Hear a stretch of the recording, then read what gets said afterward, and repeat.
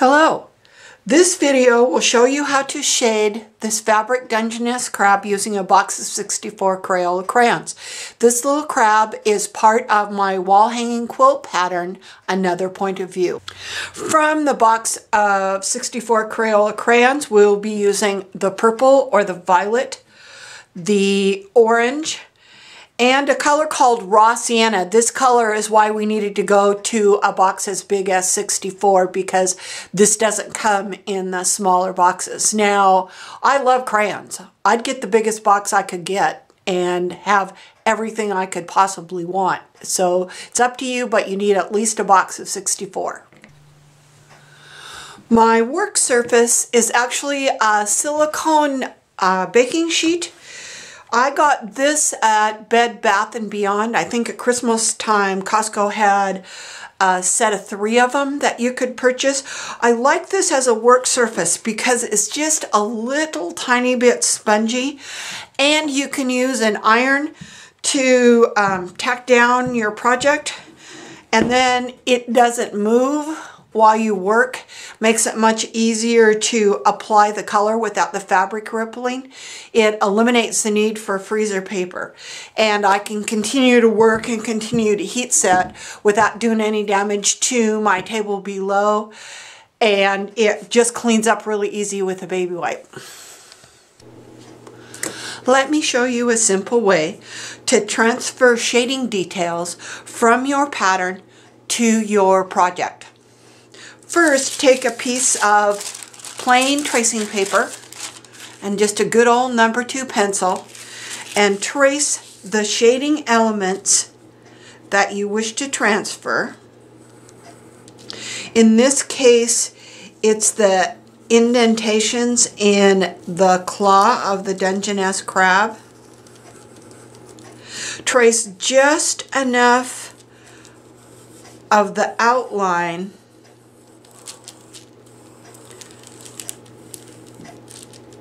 so that you have placement reference.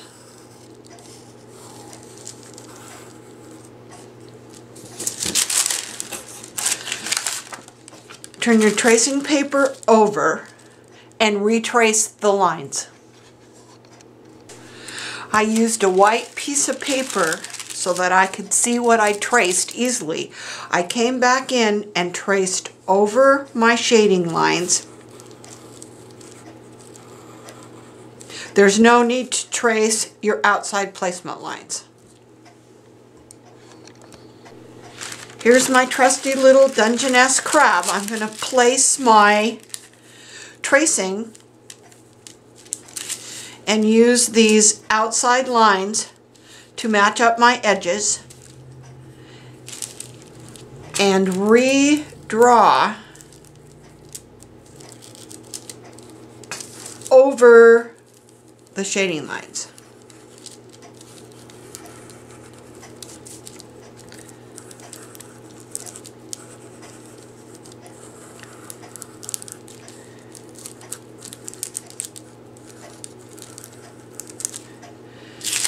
When I remove the paper, I have lightly transferred these shading lines to my crab.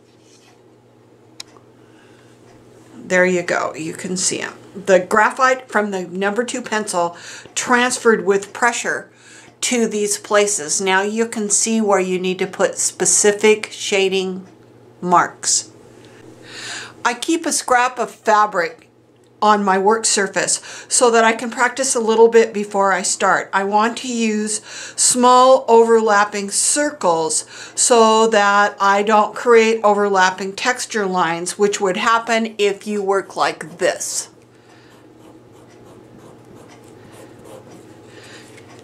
You can see how everywhere the color overlaps, you have darker and lighter. By using these little circle motions, that doesn't happen.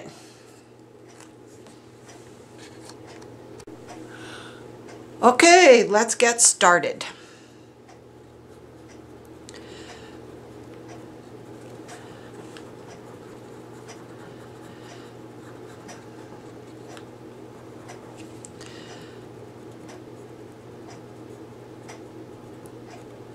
My pieces aren't permanently fused down yet, so if I really goof one up, I can replace it with another one. That doesn't usually happen, but it's just easier to do that way. I finished the orange layer for my shading. I'm going to switch to the purple crayon and add a little more shading over the orange. I always start with the lightest color and work toward the darkest.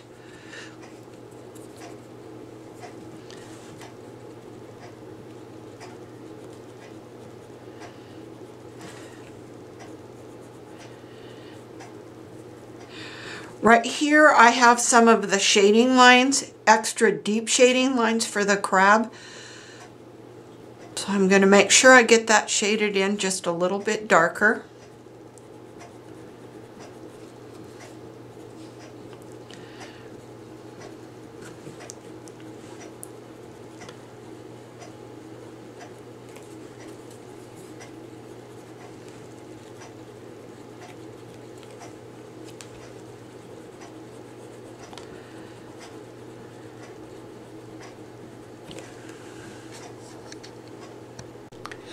I finished most of the purple shading on my crab.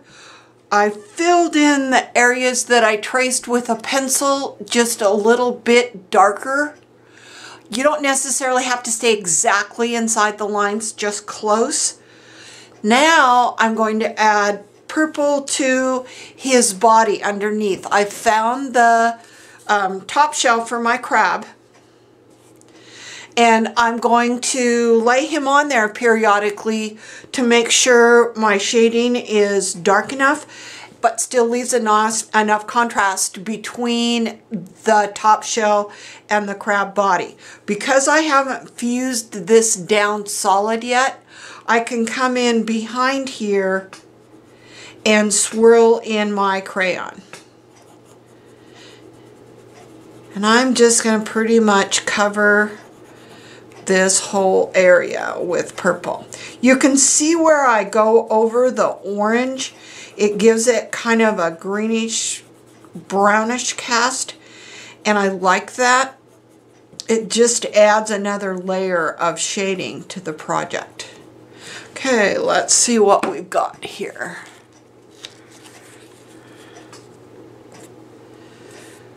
Oh yeah, that's starting to look really nice.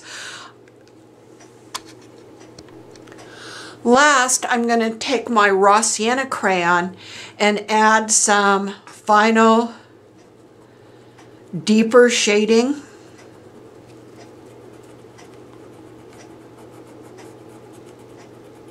I'm going to go over some of the orange places, some of the purple places. I may go over this two or three different times.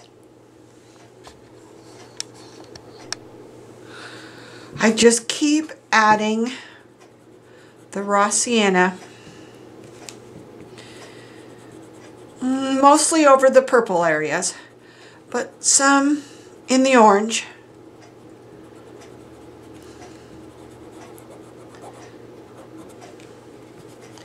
Can add a lot to the body. So if you think about it that's going to be the darkest part because it's hidden under his shell. Yeah, there we go. I may switch off to my purple crayon, add more purple crayon. Again, I'm picking up the front of this claw so I can get underneath it. A little purple on here. And I flip around, go back and forth, add more. And if you think you've gotten something too dark, darken some of the area around it and that will help tone that down a little bit. Okay, I think I've got him colored just about where I want him to be, but I'm going to back up and have a look at him from far away and see if he's dark enough. He's looking pretty good. reposition all of his little shell pieces so that they're all even and matched flat. And to heat set the crayon, we're going to use clean white paper towels. The iron is set on cotton, dry heat. I'm going to place a paper towel over my project and because I'm using this silicone mat, I can press right on it. Hold my iron over the surface.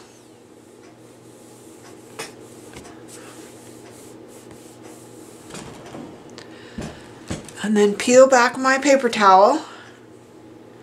When I look at my paper towel, I don't know if you can see this, but there, some of the color crayon transferred to the paper towel. That means we need to do it again. I'm going to take a new paper towel, place it over my piece, press again,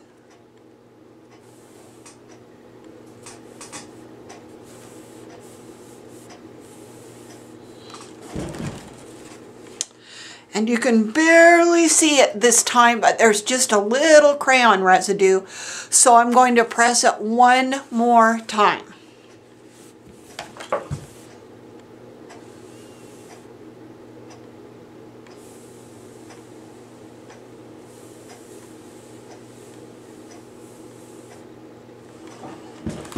Okay.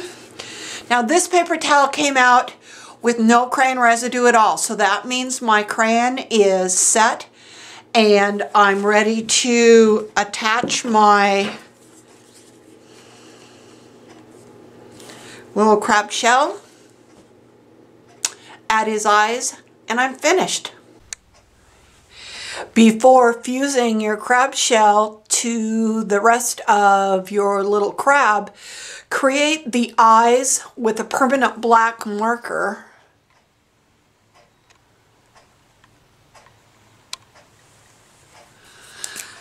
by just creating two little ovals and coloring them in right above these two little dips in the crab shell.